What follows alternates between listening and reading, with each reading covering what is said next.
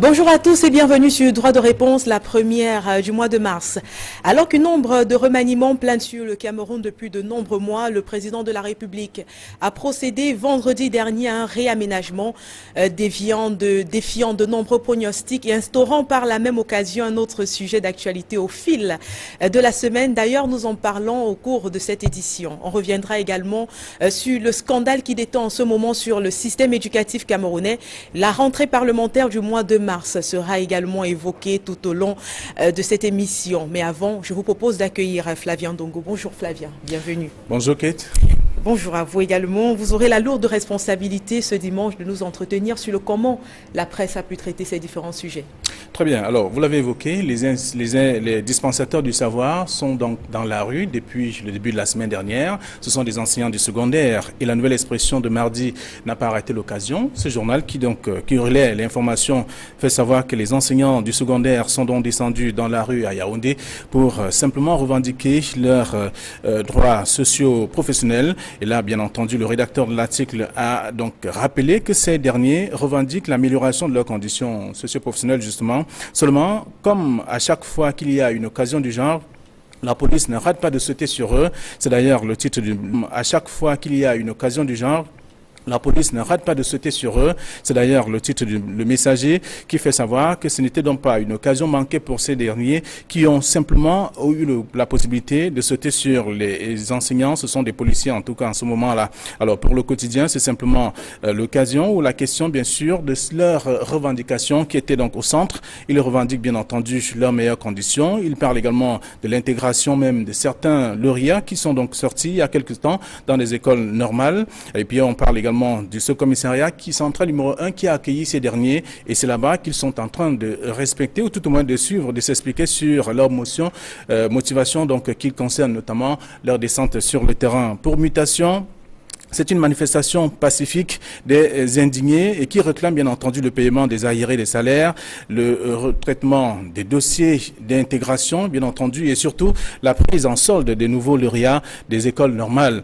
Et alors que des enseignants du secondaire payent donc le prix des revendications, le journal Le Messager est donc revenu également sur un autre sujet concernant bien sûr cette fois les enseignants du supérieur. Cette fois-là, et selon bien sûr le quotidien privé, le ministre de l'enseignement supérieur a été mis en minorité par les huit recteurs des universités d'État pour avoir soutenu le professeur Magloire Rondois qui se serait donc entêté d'accorder du crédit au doctorat professionnel qui, selon bien sûr certains chefs d'établissement, les supérieurs n'a pas sa place en ce moment. Selon le journal, cette, semaine encore, on a évoqué le sujet dans la plupart des tabloïds. Et sur cette affaire également, le messager est resté pour dire que c'est une affaire qui secoupe bien sûr l'enseignement supérieur. Le journal rappelle que Jacques Famendongo a été donc désarmé par ses recteurs pour mutation sur cette question, Jacques Famendongo a issu donc cette autre défaite simplement parce qu'il a pris position sur une affaire qui ne tient pas la route. Mutation va plus loin et précise que le chancelier des ordres académiques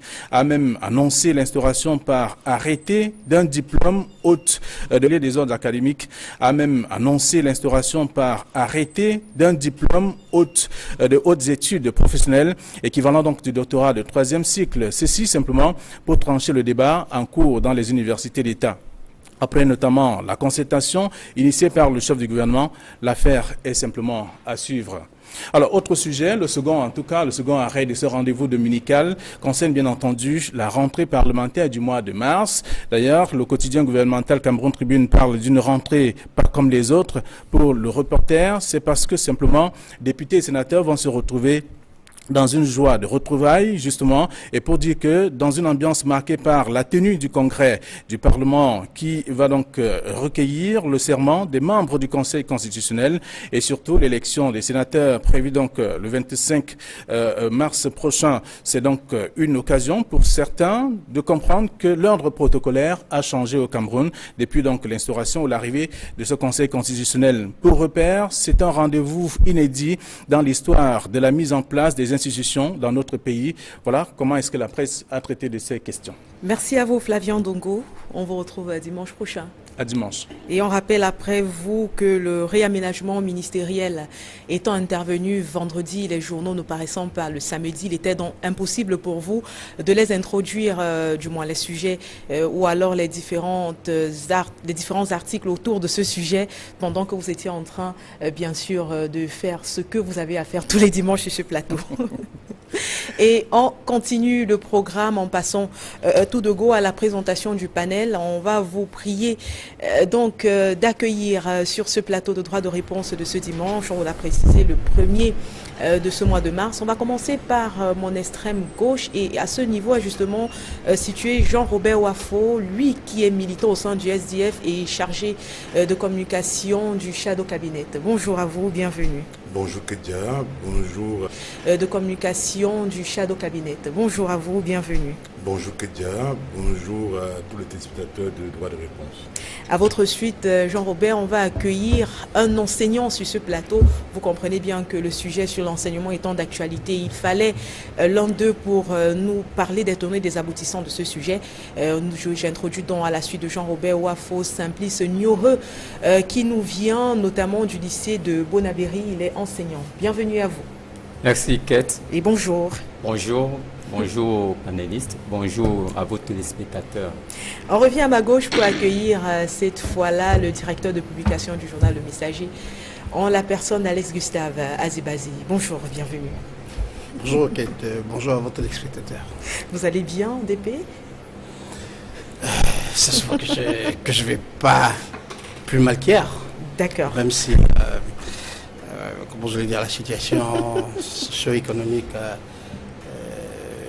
du journal, mais aussi du pays, ne prête pas toujours à, euh, à dire en public qu'on va bien.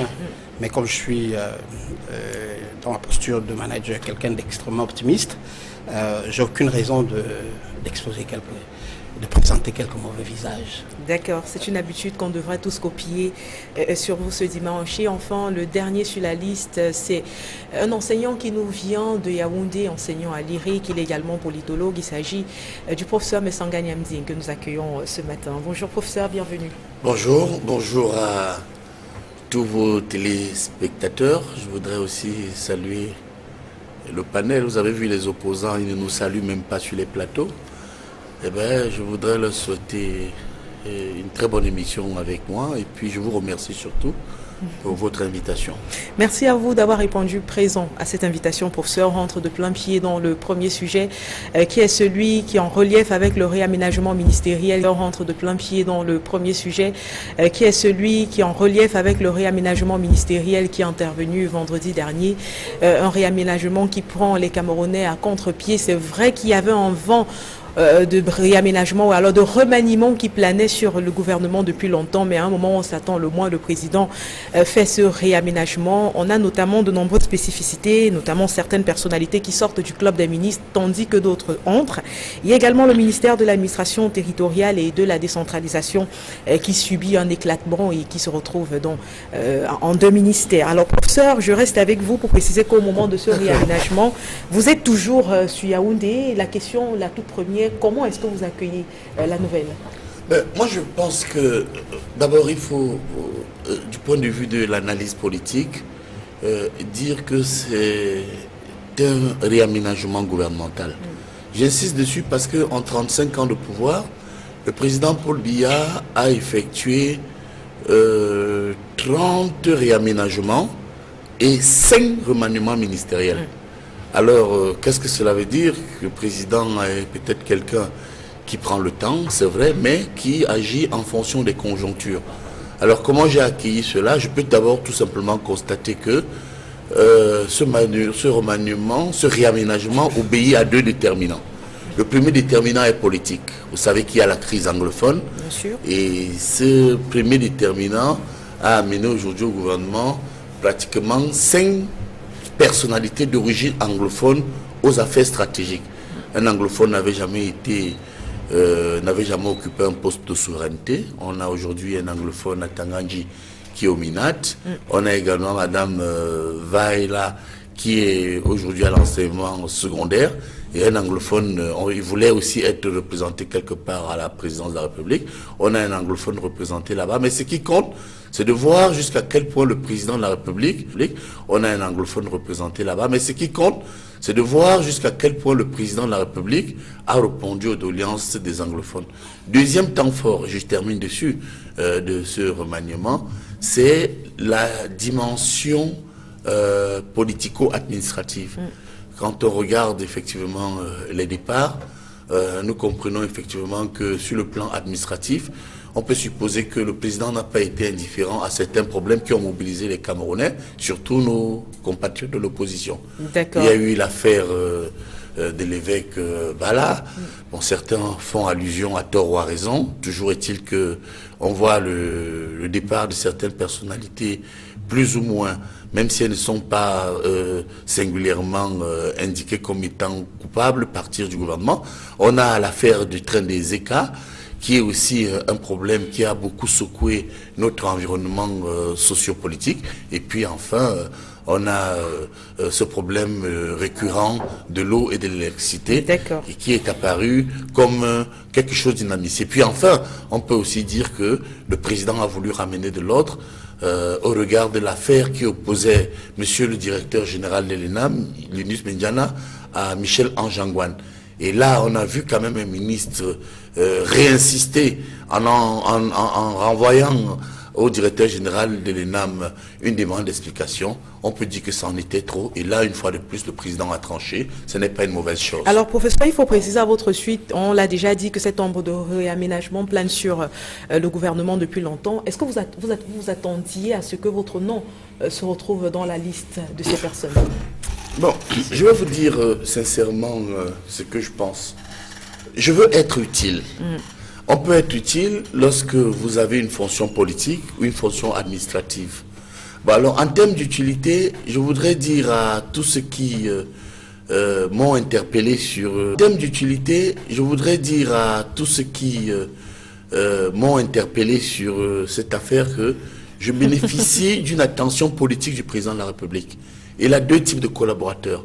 Il a des collaborateurs administratifs, les membres du gouvernement, les et les directeurs généraux, mais à côté aussi, il a des collaborateurs politiques. Ouais. croyez-moi la main sur le cœur, c'est Paul Biya qui a personnellement fait de moi membre titulaire du comité central du RDPC. Donc on en déduit que vous n'êtes pas, on retient que vous n'êtes pas déçu du tout de ce oui, réaménagement. Mais non, mais quand je dis que je veux être utile, hmm. je vous prends trois exemples et je termine vraiment là-dessus. J'ai contribué à apporter la preuve que le président nous écoute. Je, vais vous dire, et là avec mes amis de l'opposition témoins, lorsque je suis sorti sur un plateau, je crois que c'était d'ailleurs le vôtre ou un autre, où je faisais remarquer que un anglophone n'a jamais occupé un poste de souveraineté. Les anglophones ne sont pas suffisamment représentés. Et sur les trois ministres de l'éducation, les anglophones n'occupaient aucun. On a, on a, tenté de me taper sur les doigts. Mm. Ça, je ne vous le cache pas. Nous sommes ici à Mondio Vision. Les gens m'ont dit, et certains camarades m'ont pratiquement agressé. J'en ai souffert. Mais une fois de plus, le président m'a donné raison. Un, je demandais, et j'ai fait une autre chef de l'État, où je démontrais l'utilité de libérer les membres du consortium. Il les a libérés. Et puis, j'ai demandé à côté qu'il y ait un anglophone. Aujourd'hui, il y a une dame qui occupe l'enseignement secondaire.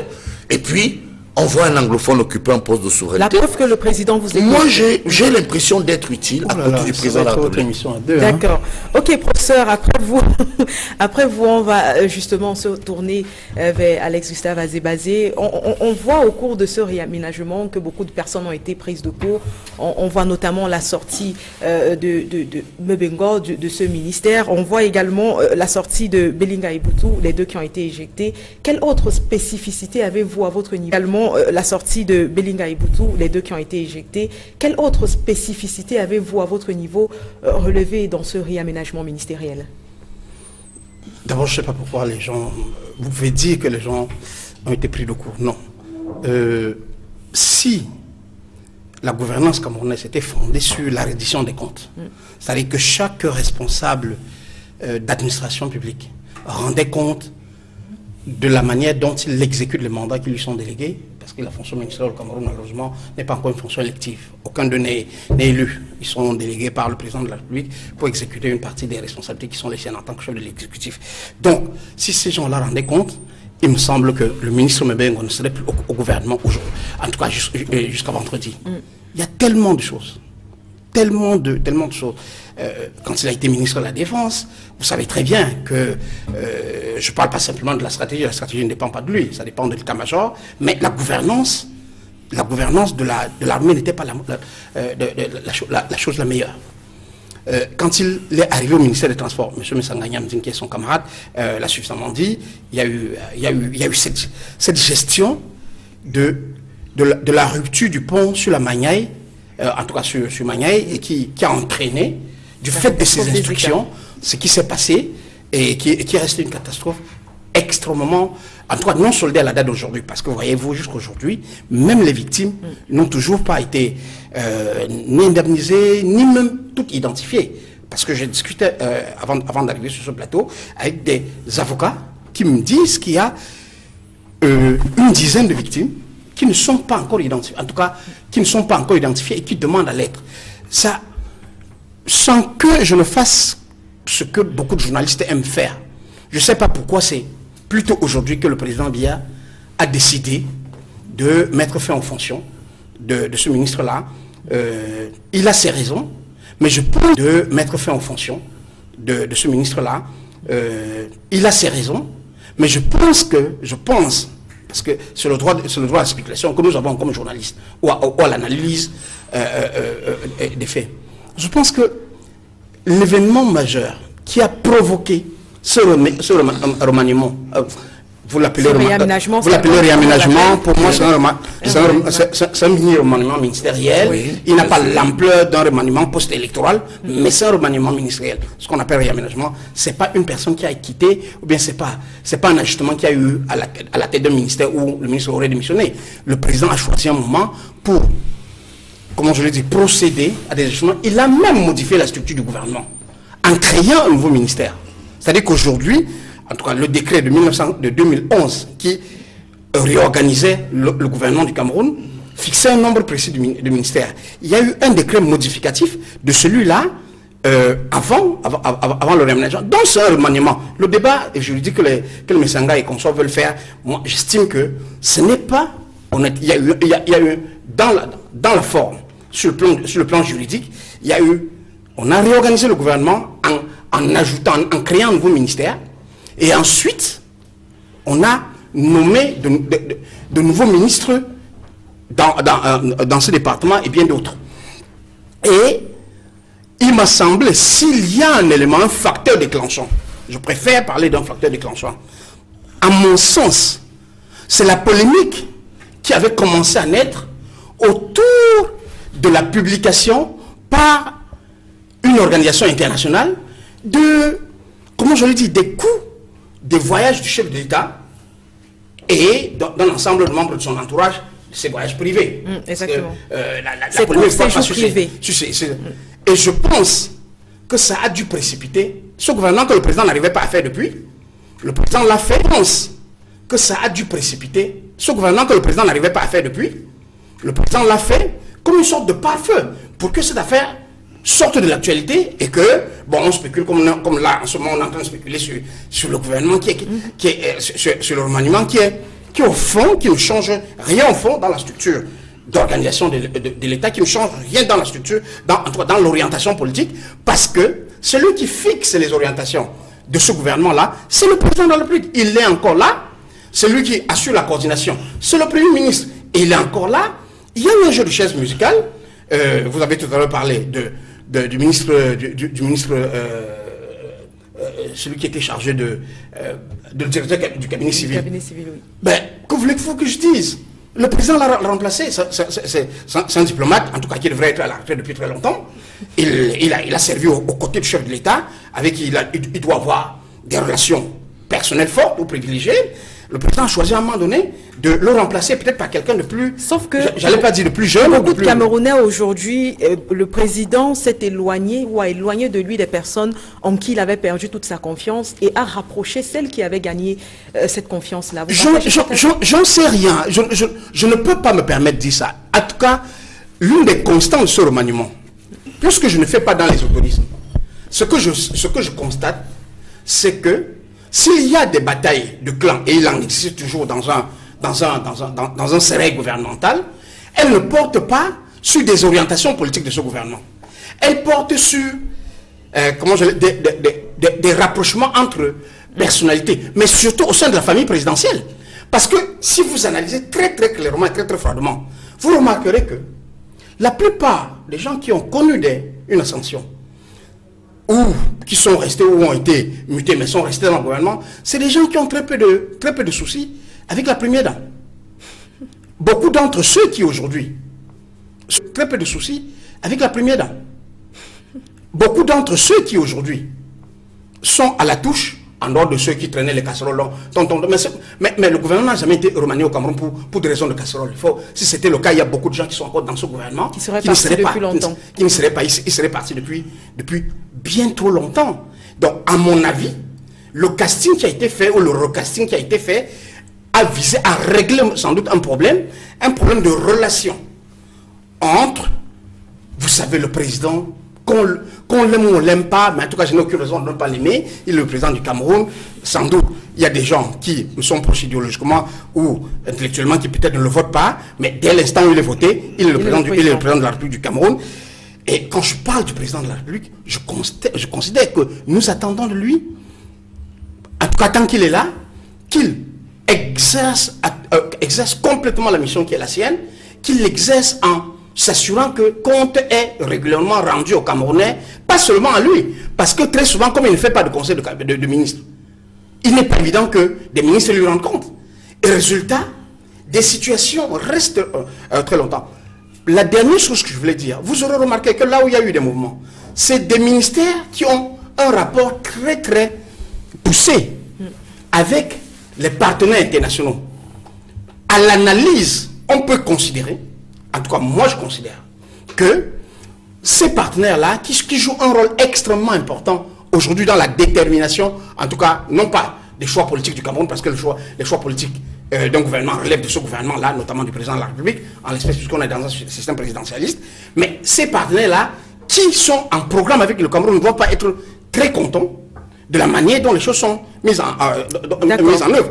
Et ils ont dû attirer l'attention du président de la République. Il a procédé un, un homme chef musical. Enfin, dans le secteur du transport, et vous l'aurez remarqué, vous l'aurez remarqué, le secteur du transport est quand même l'un des secteurs qui, enfin, dans le secteur du transport, et vous l'aurez remarqué, vous l'aurez remarqué, le secteur du transport est quand même l'un des secteurs qui a le plus broyé des ministres sur les dix dernières années. Peut-être que vous ne le remarquez pas assez. Je crois que M. Mebengo ou M. Ngalebibé qui arrive doit être le cinquième ministre en 10 ans dans le secteur du transport. Posez-vous la question. Le plus gros, le- comment je le dis, la plus grosse activité de transport du Cameroun est tournée vers l'extérieur. C'est-à-dire les ports, les aéroports et puis, bien entendu, la sécurité portuaire, la sécurité maritime ou la sécurité aérienne. Il ne me semble pas que de ce côté-là, les partenaires du Cameroun soient toujours Très bien, je vous remercie. Vous voyez qu'on ne vous a pas Euh, coupé, hein, pourtant non, vous avez on, été très on ne long. coupe personne. On ne Non, coupe on a plutôt personne. parlé de vous. Moi, je ne parle pas de moi. non, non, écoutez, écoutez, écoutez, euh, écoutez, d'analyse. c'est basé, dites-nous, reconnaissez que nous sommes polis. C'est tout ce que je peux vous Nous dire. sommes tous polis sur ce Voilà, plateau, professeur. voilà. Et je vous introduis euh, Simplice Ignoreux, vous qui êtes enseignant. Il faut dire que votre ministère d'appartenance a lui également été touché. Euh, en remplacement à Galem Bibéré, il y a désormais Nalova Lionga Pauline qui est votre euh, nouveau ministre. Est-ce que euh, cette nouvelle, finalement, a suscité en vous euh, quelque chose, une lueur de changement peut-être, ou d'espoir? Oui, Kate, je, je dirais que par rapport au changement de, de ministre euh, à notre ministère, il faut déjà admettre que M. Galébibé, le ministre, Le ministre est- sortant, oui. Le ministre sortant est un bon manager. Ça, euh, je peux tenir, n'est-ce pas, ce témoignage des- du délégué même des enseignants indignés lorsqu'il pose, n'est-ce pas, le problème des enseignants. Il fait vite d'évacuer, n'est-ce pas, la De responsabilité. quel enseignant indigné parlez-vous Le nouveau collectif Oui, ou le nouveau collectif. D'accord, poursuivez. Il fait rapidement d'évacuer de... la responsabilité du ministre, euh, M. Ngale Bibé, en faisant comprendre qu'il est un bon manager. Donc, euh, euh, à la tête de ce ministère, son départ, euh, pour moi, il avait encore beaucoup à faire à ce ministère. Déjà que c'est... euh, pour moi, il avait encore beaucoup à faire à ce ministère. Déjà que c'est un ministère qui a beaucoup de, de points brûlants actuellement, de dossiers brûlants. Donc il aurait peut-être fallu attendre qu'il évacue ces dossiers, qu'il donne sa touche pour l'évacuation de ces dossiers afin- avant, de le faire partir. Bon, euh, je ne suis pas dans le secret, n'est-ce pas, des nominations du président. Toujours est-il que je note qu'il va au ministère des Transports. Avant euh, le ministère des Enseignements secondaires, il était à la tête de la So- Socatur, où il a fait ses preuves.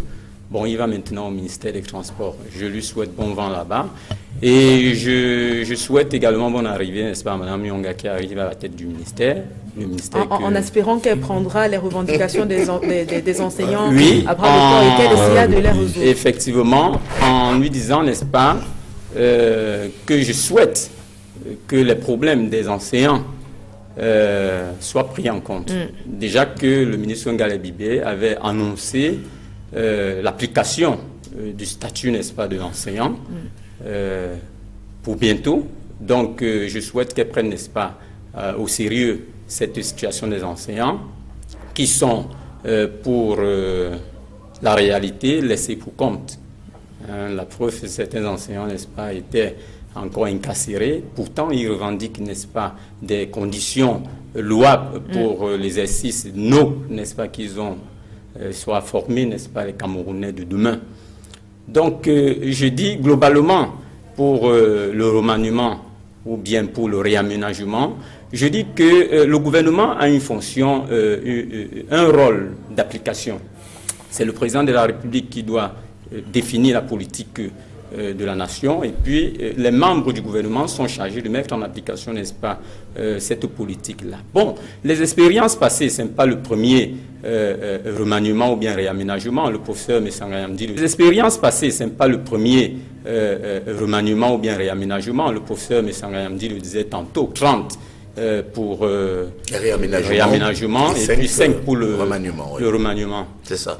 Bon, en fait, ce n'est pas le premier. Et puis, et la réalité est que les, Camerounais croupissent et sous le poids, n'est-ce pas, des souffrances. Euh, euh, les Camerounais crient de jour en jour. Euh, Les problèmes ne sont pas résolus dans plusieurs secteurs. Il a dit tantôt que le ministre, le président l'avait écouté pour des points qu'il avait soulignés et des, des Concernant la crise anglophone. concernant la crise anglophone. Mais moi, je dis, il y a eu des scandales euh, euh, au ministère de la Santé. Euh, c'est pas pour autant que le ministre de la Santé a sauté. Bon, moi, je dis, seul le président, lui seul, il sait, n'est-ce pas, pourquoi il, euh, il nomme à un poste. Mais je dis, euh, euh, euh, euh, ceux qui sont nommés doivent être interpellés, ils doivent être patriotes, ils doivent apporter des solutions aux problèmes que nous avons. Mais il y a un problème que l'administration est continue. Donc lorsqu'ils arrivent, ils trouvent des dossiers. Il faudrait qu'ils euh, règlent les problèmes euh, euh, urgents, qu'ils apportent des solutions, n'est-ce pas, aux problèmes des Camerounais. Il ne faudrait pas que chacun arrive avec sa touche, sauf si la touche est personnelle et, et, et- et- et louable. Bon, mais toujours est-il que je pense hein, qu'ils ont une feuille de route lorsqu'ils sont nommés euh, et qu'ils ne vont pas naviguer à vue. Et Je vous remercie, euh, euh, Monsieur Nioreux, pour introduire également sur cette thématique-là, Jean-Robert Wafo. Vous avez fait une sortie, Monsieur Wafo, il faut le préciser, dans laquelle vous estimez que ce remaniement euh, est en quelque sorte un, un événement, si oui, une tentative finalement pour le président de la République à détourner l'attention sur votre désormais champion qui est Joshua aussi. Oui, mais tout d'abord, je vais dire que euh, c'est un gouvernement pléthorique. Et c'est également un gouvernement de diversion qui ne changera en rien, n'est-ce pas, le quotidien pathétique, difficile et misérable des Camerounais. Qui ne changera en rien, n'est-ce pas, le quotidien pathétique, difficile et misérable des Camerounais. Qui ne changera en rien le marasme économique dans euh, lequel on se trouve aujourd'hui et qui ne changera absolument rien sur euh, le plan euh, sécuritaire ainsi que sur la crise, n'est-ce pas, dans les deux régions anglophones, c'est-à-dire les régions du nord-ouest et les régions du sud-ouest. Et la région du Sud-Ouest. Euh, et concernant, n'est-ce pas, cette crise dans ces deux régions, il y a même fort à craindre, n'est-ce pas, euh, que cette crise s'enlise, s'enlise davantage, n'est-ce pas, du fait de la nomination euh, de certaines personnes qui ont même attisé, n'est-ce pas, cette crise dès son déclenchement. Parce que, voyez-vous, ceux qui ont été nommés, on a parlé, n'est-ce pas, du ministre de l'administration territoriale, ainsi que euh, de Madame du ministre, le nouveau ministre des enseignements secondaires. Je vais parler aussi de Madame Nalova, Nalova directeur à l'université de Boya, et le, ministre de l'administration territoriale actuel, M. Atangadi. Tout le monde sait très bien que euh, ces deux personnalités ont fait partie de ceux qui ont envenimé cette crise. Alors, faire leur promotion, euh, je dis, euh, ça peut être considéré comme de la provocation, alors de la non prise en compte, n'est-ce pas, des revendications de nos compatriotes dans, du nord-ouest et du sud-ouest. Et puis, ça je veux le dire, vous l'avez dit d'entrée du jeu, quand on m'a donné dans la parole, c'est également un gouvernement de diversion. Parce que le, le, cela intervient, n'est-ce pas, comme Alex l'a dit, après la publication du rapport sur les voyages présidentiels, ainsi que euh, moins d'une semaine après euh, euh, la, désignation, de votre candidat Du candidat Joshua aussi à l'élection présidentielle mm. pour le compte de, du SDF. Mm. Donc, c'est clair que c'est un gouvernement pléthorique, c'est également un gouvernement de diversion. Mais je, vais, je tiens à dire une chose, c'est quoi? C'est que le peuple camerounais contente laborieusement n'est-ce pas, de divertir, de distraire, hein, sera plus que jamais vigilant. N'est-ce pas, de divertir, de distraire, hein, sera plus que jamais vigilant. C'est-à-dire qu'en sachant une chose, parce qu'il faudrait que les Camerounais sachent une chose, euh, ce qui est le plus important aujourd'hui pour ce pays, c'est le changement de leadership. il faudrait que les Camerounais aillent, n'est-ce pas, massivement s'inscrire sur les listes électorales, qu'ils ne soient pas distraits. Je sais bien que demain, et à juste titre, la presse donc, n'est-ce pas, va faire des commentaires de long à l'âge sur ce gouvernement, c'est leur rôle. Mais il faudrait que les Camerounais sachent une chose, c'est quoi C'est que nous n'avons pas besoin de, ce simple jeu de chaises musicales qu'on nous a brandi, n'est-ce pas, le vendredi dans la nuit. Nous avons plutôt besoin d'un leadership solide. Et ce leadership, ça passe par quoi et ce, leadership passe par le changement à la tête de l'État. Il faut que ce soit clair. Parce que c'est le président de la République qui euh, donne les grandes orientations. C'est lui qui définit la politique de la nation. Et les ministres ne sont que chargés de, de, mettre cette politique en œuvre. Mm. Rien n'a changé, comme Alex l'a dit. Le président de la République est toujours là. Le Premier ministre est toujours là. Encore que, bon, moi j'ai l'habitude de dire que euh, c'est le premier des, ministres, parce que, voyez-vous, on a observé depuis que M. Filmon Yang est là. Il, a quand même un champ de compétences, même si... je, je, dis c'est le premier, je n'ai pas dit qu'il n'est pas compétent, M. Adek J'ai dit, il a même ce champ de compétences, nous, savons tous qu'il a signé des décrets et que qui, n'ont jamais été donc appliqués. Et ceux-là sont là, on sait très bien comment ils arrivent. D'ailleurs, vous avez vu, euh, ils ont quand même pris la peine, de dire après consultation du chef du gouvernement. Bon, j'espère que c'est vrai, mais ça me surprendrait. Euh, moi, je dis, euh, rien ne va changer. Rien ne va changer dans le quotidien des Camerounais. Et, ce d'autant plus que le Premier ministre, actuellement, est, considéré par plusieurs membres du gouvernement issus des, réseaux multiformes. Le Premier ministre est considéré, n'est-ce pas, aujourd'hui comme la serpillère de la République par, ces ministres issus de, issus de différents réseaux. C'est vrai, je sais de quoi je parle. Tout à l'heure, je vais revenir, donc, n'est-ce pas, sur l'éclatement du MINAT en deux, c'est-à-dire le ministère de l'administration territoriale et le ministère, n'est-ce pas, sur l'éclatement euh, du MINAT en deux, c'est-à-dire le ministère de l'administration territoriale et le ministère, euh, de, la, décentralisation et, du, développement, local. Et je vais vous dire, concernant, n'est-ce pas, ce ministère de la décentralisation et du développement local, le nouveau ministre qui arrive, ça c'est clair, s'il ne dératise pas ce ministère en mettant, n'est-ce pas, certains directeurs véreux de côté, il va subir le même sort que ceux qui sont passés avant. Parce que, voyez-vous, ça c'est le ministère, c'est-à-dire que ceux qui sont en charge de la décentralisation dans ce pays, je veux parler des, des différents directeurs, sont de véritables, sont de véritables plaies. Dit que c'est des plaies béantes pour, le, pour, euh, pour la décentralisation dans ce pays. Les, les pays ministres ont signé des décrets importants je dis, mais important, je vais par exemple prendre, si vous me permettez, le décret de 2011 fixant les modalités de centralisation, de, de, répartition et de reversement des impôts communaux soumis à péréquation, notamment en ce qui concerne les centimes additionnels communaux. Ils ont une grille une répartition là-bas qui n'a rien à voir avec l'article 6 de ce décret, 6 alinéa 1 de ce décret, qui précise que sur la quote-part des centimes additionnels euh, alloués au, co- euh, au- au communauté collectif. urbaine, 40% doivent être reversés aux communes d'arrondissement de rattachement. Les, les- les maires ont écrit, j'ai dit, les maires ont fait des mémorandats. Ils ont adressé au Premier ministre. Parce que, je prends l'exemple de la communauté urbaine, où il y a par exemple une grève, une grève Les délégués de personnel. La grève de la honte, comme on la l'appelle grève aujourd'hui. de la honte. Nous avons une communauté urbaine aujourd'hui qui a 35 milliards depuis 2011, 35 milliards de centimes additionnels communaux reversés par le ministre, non, par le ministère des Finances au titre des centimes additionnels communaux. Si on doit tenir compte de ce décret, donc de la ligne 6, de l'article 6 alinéa 1 de ce décret, 40% des 35 milliards, soit 14 milliards, doivent être re- reversés aux communes d'arrondissement de rattachement. C'est-à-dire, voilà, premier des 35 milliards, soit 14 milliards, doivent être re- reversés aux communes d'arrondissement de rattachement. C'est-à-dire, voilà, premier, deuxième, troisième, quatrième, cinquième, sixième. Mais voyez-vous, Madame Kedja, les centimes additionnels communaux de toutes les six mairies de Douala réunies n'atteignent pas 3 milliards de francs CFA. C'est un scandale. Les ont écrit, on n'a rien dit. Écrit au Premier ministre, qui n'a pas réagi. Je prends un autre décret. Le décret Oh, de... je- je- suis je crois pas qu'on a très bien compris ce que vous vouliez dire, pas là, le je pas Wafo, là parce oui. qu'il faut que je commence par là. Parce qu'il faudrait que le nouveau ministre, parce qu'il est, en- il, il- il est en charge des- donc, n'est-ce pas, de la décentralisation, on parle d'une accélération. Mais pour moi, c'est une accélération sur place. Je vais également prendre donc, le décret qui reverse les marchés aux communes dans le décret donc, du, du- du- du Premier ministre, toujours, hein, qui, qui- qui- qui, donc, fixant les modalités de transfert de certaines compétences aux communes, notamment en matière de commerce. L'article 13 alinéa 1 de ce décret dit la commune gère les marchés installés sur son territoire. Mais jusqu'aujourd'hui, allez voir dans la ville de Douala, regardez dans la ville de Douala, à Yaoundé, partout, On- dans, les, dans, dans- dans 14 villes qui disposent de communautés urbaines. C'est toujours les communautés urbaines qui gèrent ces marchés.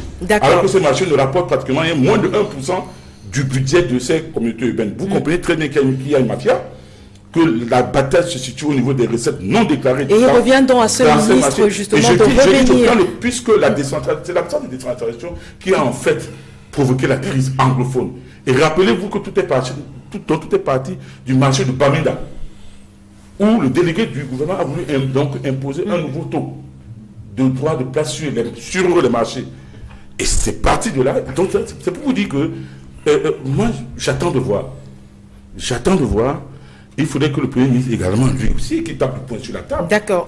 C'est pas, pas parce que des gens ont... On reviendra sur vous. niveau Que lui va se contenter de... On reviendra sur vous, euh, Monsieur Wafo, je peux vous le garantir. Je suis avec vous, professeur Messanga Nyamzing. Vous avez vous-même dit au début de votre Oui. propos euh, qu'avec ce réaménagement ou ce remaniement, ça dépend, là, bien, bien sûr, dit de comment on décide de l'appeler votre Oui. propos, euh, qu'avec ce réaménagement ou ce remaniement, ça dépend, là, bien, bien sûr, dit de comment on décide de l'appeler, Oui. le président de la République a tenté ou alors est en train de solutionner euh, le problème de la crise anglophone. Sauf que on se rend compte qu'il met ces solutions-là sur les hommes plutôt que sur des institutions. Est-ce que ce sont des solutions qui vont être durables sur le long terme? Non, on ne peut pas le dire. D'ailleurs, vous avez bien fait de couper Wafo qui était hors sujet. Ça m'agaçait déjà, ça je vous l'avoue. Il apportait des précisions. Laissez-moi émettre un avis. vous ne comprenez absolument rien. Bon, je prends les téléspectateurs à témoin. En tout cas, en- je Vous voudrais, avant de répondre à votre question, faire remarquer que le président Paul Biya est un seigneur politique. Ça, Ce monsieur, qui est une grande personnalité, à mon avis, pétrie d'expérience, contrairement au SDF, je peux poser une question à Wafo. Vous êtes ministre de l'Homme depuis combien d'années? Depuis l'existence du SDF. Ministre de quoi, professeur? Il est ministre de la communication, ministre Ah, de l'ombre. C'est-à-dire en anglais, chef de cabinet, c'est c'est le cabinet de l'ombre. Vous voyez que vous, chez vous, c'est l'inertie. Depuis- Depuis, que connu Monsieur Wafo, qui est d'ailleurs un ami. Mais Wafo est toujours, occupe toujours le même poste ministériel. Non, mais c'est depuis- Bah, attends, permettez-moi de vous donner une petite leçon. Professeur, revenons sur le Oui, sujet. alors vous ne me coupez pas parce que je suis Revenons dans le le sujet sujet, avec le. Oui, allons-y. Contrairement au SDF, Est-ce que vous êtes en train de dire des qui a choses gardé, qui a gardé, alors il va me couper, voilà. Non, allez-y, professeur, Laissez-moi démontrer que chez vous, ça ne bouge pas. Parlez Contrairement à vous, qui êtes Parlez dans l'inertie. c'est ça le sujet. Vous êtes hors sujet. Je suis, contrairement à vous, qui vivez dans l'inertie, et je ne sais pas quand est-ce que John Frundi, en guise d'exemple, va retoucher son gouvernement de l'ombre. Mais nous, avec Paul Biya, vous dites Joshua aussi, vous dites Kamto, vous dites euh, Mouna. mais il gouverne. Le président, du point de vue analytique, avec ce réaménagement, vient d'apporter la preuve à l'opinion nationale. Avec ce réaménagement, vient d'apporter la preuve à l'opinion nationale et internationale qui gouverne. Vous recherchez l'alternance, c'est démocratique, mais n'oubliez pas une chose. Ce remaniement a fondamentalement un lien avec une concertation internationale initiée par le président. Écoutez, Madame Scotland était ici. Ce n'est pas un hasard, Monsieur Wafo, vous qui étiez hors sujet lorsqu'on vous a donné la parole. Monsieur euh, Antonio Guterres était ici. À l'intérieur, le président a dit et démontré que le dialogue allait continuer. Alors je suis étonné. Lorsque le chef de l'État, qui a accordé une priorité, j'ai parlé d'un double déterminant. Déterminant politique, crise anglophone, déterminant administratif. Avec ce que nous sommes en train de voir, on a évoqué le rage, je suis d'accord avec Zébazé à 80% sur ses analyses. Contrairement à vous, êtes hors sujet. Je voudrais quand même dire que le président vient d'apporter la preuve que l'article 1 de notre constitution, le Cameroun est un État unitaire et décentralisé. Il a, il a compris. Il a compris que le problème qui se pose. Il a compris quoi Il a compris que. Il a posé quel acte Il- vous permet de dire qu'il a compris Alors je vais répondre au mot. Allez-y. L'acte qu'il pose, c'est qu'il crée un ministère de la décentralisation et du développement local. Mais ça qui va Ça veut dire qu'aujourd'hui, le processus repose sur deux piliers, monsieur Wafo. Ouvrez quand même vos oreilles. C'est vous qui devez ouvrir. Écoutez-moi bien, s'il vous plaît. Ça suffit de me couper comme ça. Alors vous allez comprendre que la décentralisation a un volet administratif et un volet local. Les collectivités territoriales que sont les, euh, les communes, que vous avez bien fait d'évoquer, sur un certain point, Ah, les régions, les régions, aujourd'hui, elles ont besoin d'être boostées. Leur effectivité nous permettra alors de comprendre si entre décentralisation et fédéralisme, vous conviendrez avec moi, monsieur Wafo. Je suis fédéraliste. Vous, vous, vous conviendrez entre décentralisation et fédéralisme. Vous conviendrez avec moi, monsieur Wafo. Je suis fédéraliste. Vous, vous- vous conviendrez avec moi qu'en réalité, le socle commun de ces deux sémantiques, c'est l'autonomie. Et moi, je pense que le président a mis en place les jalons d'une mutation politico-administrative avec ce remaniement, même si on n'aime pas le chat, comme disait le, le lièvre, comme disaient les Bambara, reconnaissons quand même que le lièvre va vite. Reconnaissez que le président Paul Biya, au moment où il fait ce remaniement, ses options ne souffrent d'aucune contestation. Et ça, c'est ce que je voulais Je, je vous remercie. Ça ne sert à rien de garder longtemps la parole. Per- Permettez, Juste une seconde. juste une seconde, comme Ce vous dites, et puis juste après, vous, on revient sur Alex Gustave. Écoutez, je vous en prie, euh, monsieur Azebazé. Euh, euh, m- monsieur Nyamdi Betsanga vient de dire une contre-vérité. Ce qui a été prescrit au président de la République, si je peux utiliser le Prescrit terme. Qui Si prescrit utiliser au le terme. président? Pas Je, peux utiliser le terme. Électeurs. J'ai dit ce qui a été, euh, euh, euh, tous ceux qui sont arrivés au Cameroun, qu'est-ce qu'ils ont demandé au chef de l'État Qu'il y ait un dialogue Oui, national inclusif. Tout à fait. Ce soit sur la forme de l'État ainsi que sur les mécanismes de dévolution du pouvoir politique et économique. Est-ce que ce c'est pas le, le remaniement si ne va pas résoudre en rien, je l'ai dit d'entrée de jeu, le problème de- dans la crise dans les régions du nord-ouest et du sud-ouest? Pas du tout. Ah, Il faut urgemment un dialogue. Et je vais même plus loin. Cette crise risque de s'enliser avec ce que vous avez maintenu au gouvernement votre ou avec souhait. ce que vous avez dans ce gouvernement. D'accord, on, on vous souhait. a très bien compris. C'est votre souhait. Mais Alex Gustave, non, non, professeur, professeur. vous venez- vous de venez de passer la parole, voudrais quand même professeur. Professeur. Ce n'est pas vous qui allez choisir les collaborateurs, les collaborateurs du chef de l'État. D'accord. Atanganji est un camarade politique, c'est un biaïste. Et tout le monde sait que vous, Vous avez tout, vous avez tout contre Atanganji est un camarade politique, c'est un biaïste. Et tout le monde sait que vous, Vous avez tout, vous avez tout contre Atanganji. Parce que ce monsieur soutient Paul Biya. Je vous remercie, je vous remercie, Vous professeur. n'aurez pas dit ce que vous êtes en train de dire. Professeur Messanga, je vous remercie. On, on est avec vous, Alex Gustave Azebazé. oui, Je, surexcite, je, hein. je, je, Nous, on soutient Atanganji. je voudrais, vous S'il vous plaît, S'il vous messieurs, plaît, s'il vous plaît, restez calme. Oui, je, voudrais, allez-y. je- je voudrais, après avoir écouté euh, euh, mon ami le professeur Messanga, euh, je suis quand même embarrassé. Je me rappelle, lui et moi, nous avons participé à un plateau, je crois que c'était sur STV, où il était assez clairement positionné contre les positions que tenait le ministre Atanganji, ministre à l'époque chargé de mission à la présidence, secrétaire permanent du Conseil national de sécurité. Oui. Pendant que le secrétaire permanent Conseil... Mon plaît, c'est basé- J'en ai pas. C'est basé- on est nous sommes- nous sommes- C'est basé- nous sommes- Professeur, c'est basé- professeur, c'est s'il vous plaît.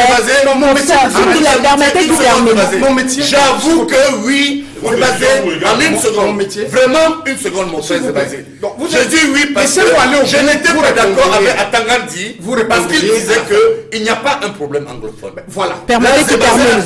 Permettez qu'il termine, professeur. Non, c'est interactif. Je suis étonné donc, je suis étonné, et vous venez de confirmer, parce que je craignais que, euh, après vous nous, di- euh, vous disiez que c'est pas vrai. Je suis étonné que, que ce soit cette personnalité-là, encore, encore que, quand on regarde bien, euh, le président en enlevant au ministère de l'administration territoriale de la centralisation les fonds, comment je vais dire, les compétences de développement local et de décentralisation a entendu exclure le ministre de l'AT Tout à fait. Très des questions liées à la décentralisation, Très. Les- des questions liées à la crise anglophone. Parce que contrairement à ce que j'entends depuis vendredi, M. Atangan ne s'occupera pas du Tout de la fait. question anglophone. Tout à fait. Il s'occupera de gérer les préfets. Les gouverneurs. Atangan ne s'occupera pas du tout Tout de la fait. question anglophone. Tout à fait. Il s'occupera de gérer les préfets, Les gouverneurs. les gouverneurs. Les maires. Non, pas, Pas les les maires. Les maires, si. Non, Pas les maires. Si. C'est le ministre. C'est le ministre. non. Un mini- un ministère de la Ah, mais Justice, ça dit que le je dis au niveau Une territorial, il y a personne, double une compétence. personne à la S'il fois, vous plaît. s'il vous Mais il y plaît. a double compétence. S'il vous plaît, justement, justement, euh, permettez-moi, permettez-moi de le dire. Oui, allez-y, Mon petit vous avez malheur, la c'est que, parole. En, euh, juste de formation, je suis, juri- je, je suis journaliste. Travers les préfets. Donc, je veux dire quoi? Je veux dire que, en attendant de voir le texte qui organise le nouveau département chargé de la décentralisation et le développement local, le, le nouveau département qui a été créé, pour en comprendre, parce que l'un des problèmes que nous avons souvent au Cameroun, c'est qu'on a souvent l'affichage, mais dans le contenu, il y a, et M. Moussanga peut avoir raison, on- si, le président, si le président décide ou le président et ses conseillers qui décident d'écrire le texte, euh, les, textes fixant les compétences de ce ministère-là, s'ils décident de faire, de, d'attribuer ou de maintenir au MINAT un certain nombre de, de compétences, en dehors des compétences de tutelle, Très bien. en dehors de la compétence telle qui relève de- du MINAT sur les, sur les collectivités territoriales décentralisées, moi, j'en viens d'ailleurs à me poser la question que est-ce que la création de ministères spécifiques chargés de la décentralisation et du développement local va plus régler le problème que le ministère délégué au, à l'AT chargé de ces questions-là n'a pas pu régler. Moi j'ai entendu, par exemple, l'ancien ministre délégué, Jules Laurent Dongo, le soir du discours du chef de l'État, euh, du discours allant, dire que 94% des compétences prévues à être déléguées avaient déjà été déléguées. Ah bon, il a dit ça Mais oui, sur, Mais- sur- mais- sur- mais- sur- mais sur- je crois, a euh, dit ça, ça veut dire que lui-même... s'il il vous plaît, Wafo, permettez je crois, termine. si je crois, euh, je crois que c'était sur, euh, une chaîne. euh, On- on- euh, ne les cite plus, s'il euh, vous plaît. euh, non, pourquoi? Pourquoi on ne citerait pas que c'était On est sur Equinox Télévision. Oh, moi, je suis journaliste. J'ai l'honnêteté de citer. Oui, a- a- allons-y, allons-y. Et, c'est pour que chacun puisse aller Télévision. Oh, moi, je suis journaliste. J'ai l'honnêteté de citer. Oui, a- a- allons-y, allons-y. Et, c'est pour que chacun puisse aller vérifier. Donc, je l'ai entendu dire, c'est-à-dire que pour lui, à, ce moment, la ministre en charge de la dé- décentralisation, pour lui, la décentralisation, telle que encadrée légalement, était presque à son terme. Or, quelques mois seulement, son ministre, son- euh, le, le ministre en charge de l'ensemble de ce ministère, je parle du ministre Hélène Sadi, disait dans, dans- au, au cours d'un atelier à Yaoundé qu'on ne peut pas mener à terme la décentralisation parce qu'il y a un ensemble de textes qui ont été proposés et qui seraient euh, et dont on, attend, on- dont on attendrait la, euh, la validation. La validation, c'est, on comprend bien ça, où ça se trouve la validation. La validation politique, c'est le président de la République. Exactement. Parce que, et, sachez- sachez-le, et c'est peut-être l'un des problèmes que nous avons dans ce pays, D'accord. Monsieur Messanga ne serait sans, sans pas merci. Mais il ne le dit pas. Merci à vous. Alex Gustave. Il va falloir que Pour terminer, le président, de ce sujet, il va falloir que le président, au lieu de multiplier, au lieu de multiplier les, les administrations, et M. Messanga a eu raison de parler des administrations. Les ministères au Cameroun ne sont que des administrations. Mm. Oui, au lieu de les multiplier, Au lieu de multiplier les administrations, envoie un message très clair qu'il est engagé dans la mise en œuvre des institutions constitutionnelle prévue par sa propre constitution de 1997. Notamment qu'il mette en place les conseils régionaux. Et quand on aura mis en place les conseils régionaux, il est possible que cela purge une partie des revendications, je ne dis pas autonomistes, mais des revendications de, de, de désir de participation d'un certain nombre de communautés à la gestion de leurs propres problèmes.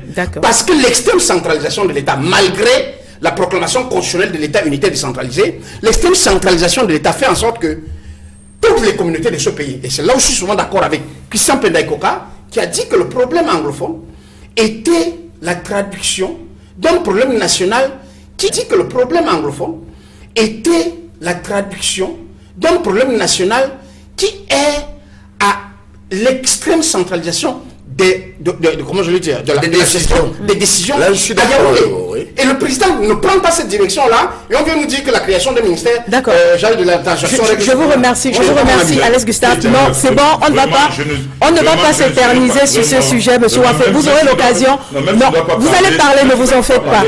Vous allez parler. Non, permettez que quelqu'un d'autre s'exprime aussi. Vous n'êtes pas tout seul sur ce plateau.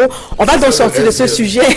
On va sortir de ce sujet en vous donnant la parole euh, à vous, Simplice Nioleux, après euh, cette vague de, réaménagement, de réaménagement ministériel, il va suivre quoi? Euh, Notamment pour les ministres qui sont sortis carrément euh, du club des ministres. Est-ce que, comme les autres Camerounais, vous envisagez aussi des poursuites, des enquêtes? Et, tout ce qu'on connaît au Cameroun? Euh, quand vous me demandez ce qui va suivre, on a connu des ministres, des ministres qui sont partis du gouvernement après de nombreux scandale.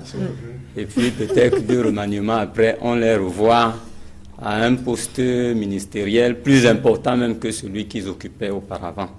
Je ne suis pas dans le secret des décisions du président de la République que le professeur Messangayamdi qualifie de seigneur de la politique.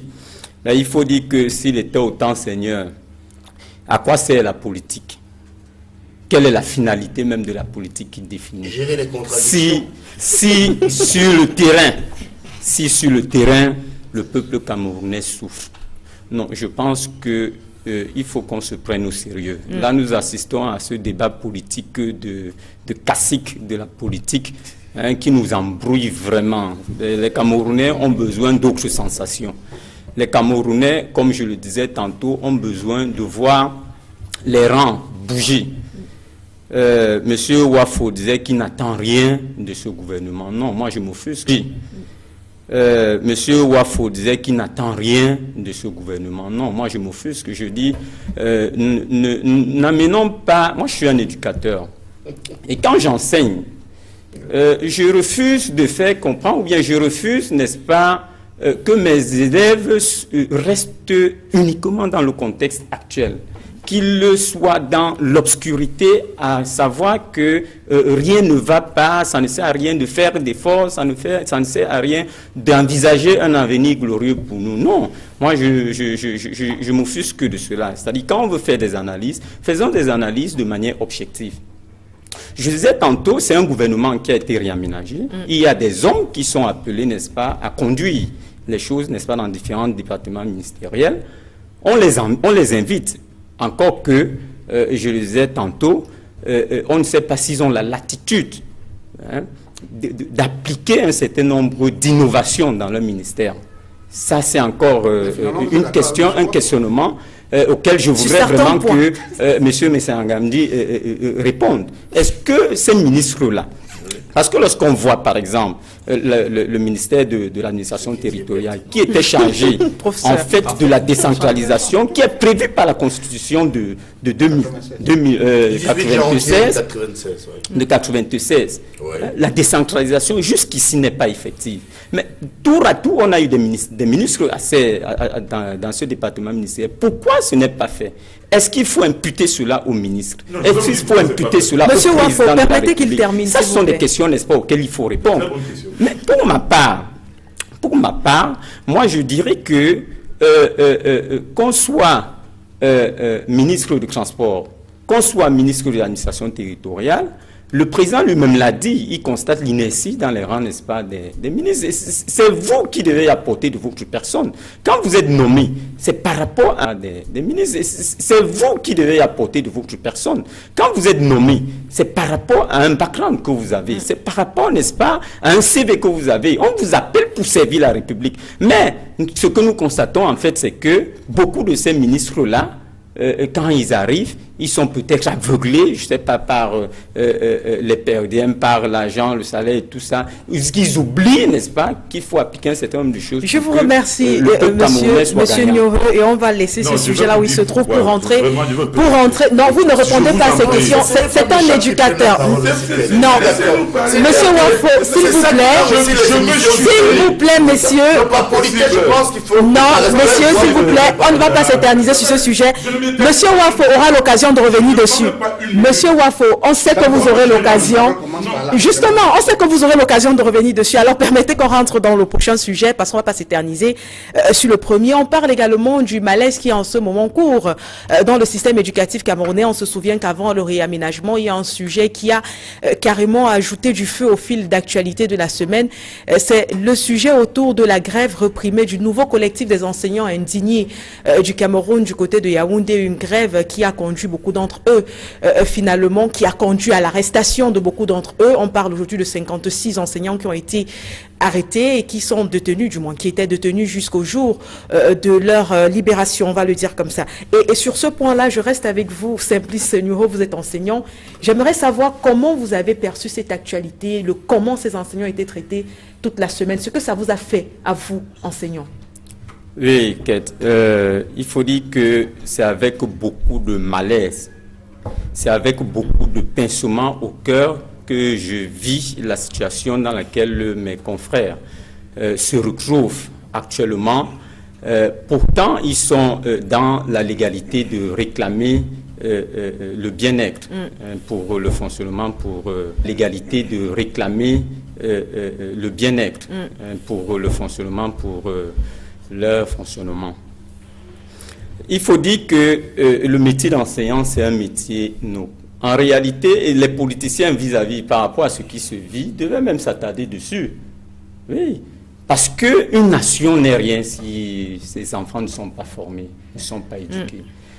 Mm. Mais imaginez, vous, imaginez quel regard l'élève a sur l'enseignant qui se voit euh, molesté, qui se voit incarcéré, qui n'est pas dans des conditions meilleures, dans des, conditions minimales pour dispenser le cours, qui est encore dans la mendicité, l'indigence. Un enseignant qu'on a affecté dans une région, je sais pas reculer, euh, loin, n'est-ce pas, des centres-villes urbains, et qui euh, prend des, des transports de fortune. Il y a un qui est mort dernièrement, il y a un enseignant qui est mort dernièrement, euh, un enseignant, n'est-ce pas, faisant partie de la liste des enseignants indignés, parce qu'il partait de Limbe pour euh, rejoindre sa famille ici à Douala et qui doit entrer dans un En précisant que généralement, ce sont des enseignants qui sortent de l'école de formation et qui n'ont donc pas forcément les moyens de se mouvoir, comme vous êtes en train de le dire. Mm. Effectivement, en réalité, euh, il faudrait que notre République, ça j'interpelle, n'est-ce pas, ceux qui sont en charge de la République, en attendant que les élections arrivent et qu'on puisse, n'est-ce pas, les battre dans les urnes. Mm. Parce qu'il faut rappeler que je suis également coordonnateur du mouvement 11 millions pour le Vouri. Euh, donc, euh, euh, il faut dire que quand les enseignants sortent de l'école, quand les enseignants sortent de l'école, en principe, ils devraient être pris. En principe, ils devraient être pris en charge oui. par l'État camerounais.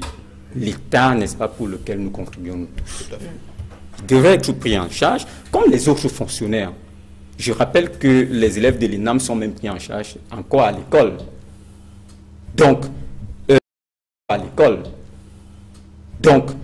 les élèves de l'INAM sont même pris en charge encore à l'école. Donc, ceux des enseignants qui sortent et qui n'ont pas de salaire, qui n'ont pas de domicile, qui n'ont pas euh, euh, de domicile, l'État ne leur donne pas de domicile, et qui doivent être affectés dans des zones parfois plus reculées, n'est-ce pas, euh, de lieux de résidence qu'ils avaient, et qui doivent aller là-bas.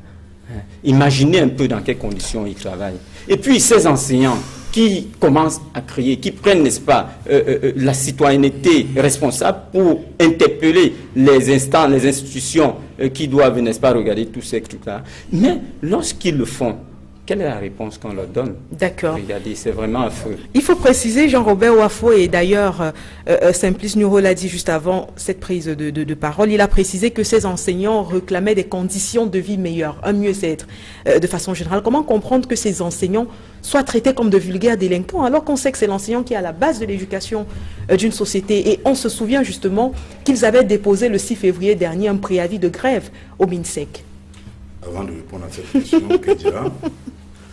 j'aimerais euh, revenir. revenir sur la décentralisation. Parce qu'effectivement, ce problème également pose des enseignants. C'est aussi un problème de, la décentralisation. La décentralisation aurait pu résoudre cela. Parce que les conseils régionaux ont en charge, n'est-ce pas, entre autres, l'alphabétisation, le développement économique, l'enseignement, l'enseignement professionnel et donc également l'enseignement dans tout ça. Et les lycées, et, les, lycées et les collèges relèvent de, des conseils régionaux. Donc si on avait effectivement mis sur pied les conseils régionaux, c'est-à-dire ces problèmes se seraient gérés dans chaque, donc dans chaque région. Ce qui n'est pas le cas. Et je veux, quand je dis je reviens sur la décentralisation, il a posé une question simple. Pourquoi il refuse? Je veux, Quand je dis je reviens sur la décentralisation, il a posé une question simple. Pourquoi il refuse? Parce qu'il refuse parce que la manne financière de l'État est devenue leur mamelle nourricière. C'est de ça qu'il est question.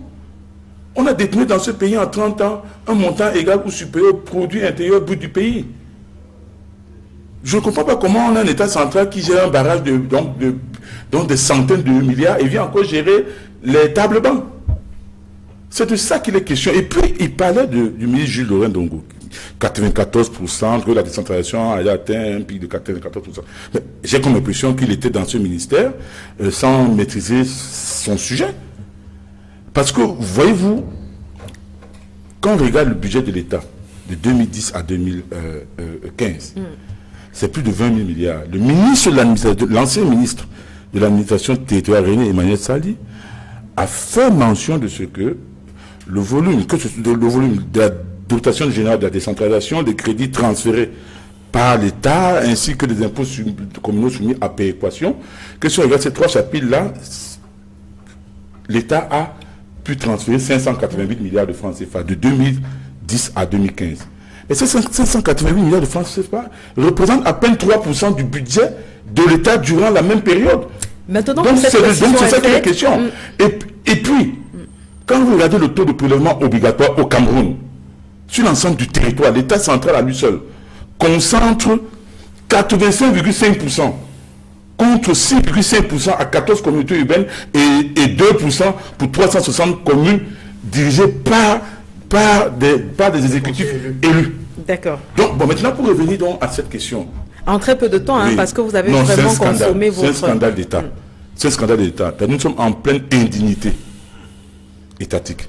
On ne peut pas comprendre que des enseignants qui revendiquent des années d'arriérés de salaire, plutôt que de les, que des enseignants qui revendiquent des années d'arriérés de salaire, plutôt que de les recevoir convenablement ou alors d'accéder à leurs revendications, que l'État en soi allait mettre en cellule, allait les infantiliser au point où j'ai lu dans les réseaux sociaux. On leur a même posé des, conditions pour leur libération? C'est indigne, M. Messanga Nyamdi. Le régime que vous soutenez là aujourd'hui, c'est indigne ce qu'ils font contre ces enseignants. Qu'est-ce que ces enseignants vous ont fait? Vous êtes ce que vous êtes là parce que vous avez fait l'école primaire. Vous êtes ce que vous êtes. Le président de la République lui-même qui est là, c'est parce qu'il a fait l'école primaire, il a été, donc, donc il a connu des enseignants. C'est incroyable, un pays comme le Cameroun. Mais regardez ces enseignants. Moi, quand je vois un enseignant, quand je vois un de mes anciens enseignants, je m'incline devant lui. Parce que c'est grâce également à lui que je suis ce que je, suis aujourd'hui. Que vous êtes à la base de votre éducation. Bien sûr, l'enseignant, mais on a appris à lire comment? Grâce à eux. Grâce à ces enseignants. Le BABA, c'est qui? Ce sont les enseignants. Qu'on en soit à humilier les enseignants au vu aussi de tout le monde et même de, leur, euh, euh, de leurs élèves. Vous trouvez ça normal? C'est cruel. C'est cruel et c'est la raison pour laquelle je dis ceci.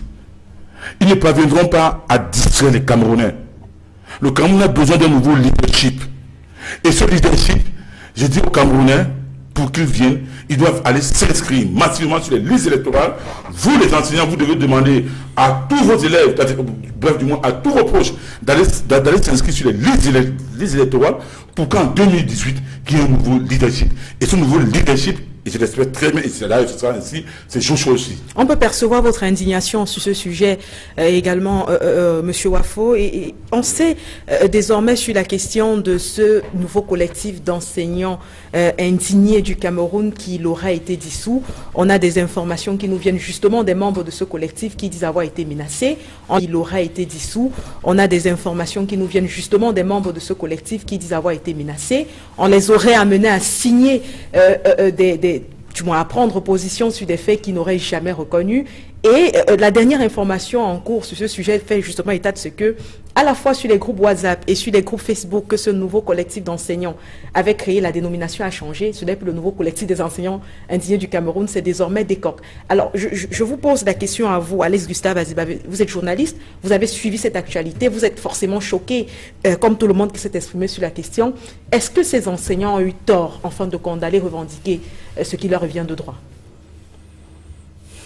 Vous savez, euh, je, suis carrément interdit euh, de voir le ou de suivre la gestion que l'État du Cameroun pris en son gouvernement. Et ses, différentes administrations fait d'une situation ou d'une revendication banale et basique de personnes qui font partie de son corpus euh, institutionnel. Les enseignants, ces enseignants-là sont des enseignants pour la plupart du public.